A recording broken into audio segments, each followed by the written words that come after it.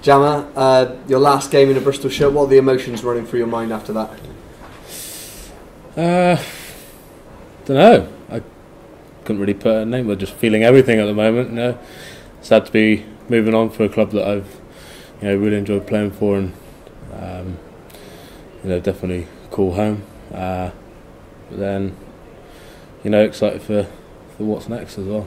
The result wasn't what boys were looking for today, but the fact that Mitch's try at the end just showed the lads kept going right to the very end. Yeah, might try. Don't forget about that. Yeah, um, you know, obviously we, we, we would have loved to have ended the season with a win at home. Um, it's what we've been talking about all week.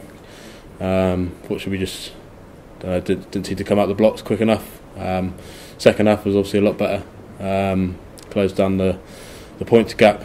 Um, but you know, like you said, with Mitch try, Mitch's try at the end, um, we finished on a positive. Um, I've just been in the change room and you know, despite the loss and what's happened this year, everyone's still pretty positive. We've got a real tight knit group, you know, through everything that we've been through, and uh, it's just you know, been a pleasure and a privilege to, to be part of it.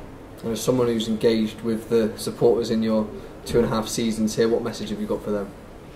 Uh, just that you've been awesome, you know. Um, I couldn't ask for anything more. Yeah, every time I come onto the field, I get a loud reception, and you know, seem to be doing about ten thousand selfies every weekend. is you know, it is it is awesome and and really uh, overwhelming, and I I can't thank you guys enough. You'll be giving out your kit outside after this. Yeah, yeah, I've already given away my boots halfway around the lap, lap of the pitch, and uh, I've got some uh, some old stash waiting in the car. I'm sure I can uh, find a new home for that stuff as well. So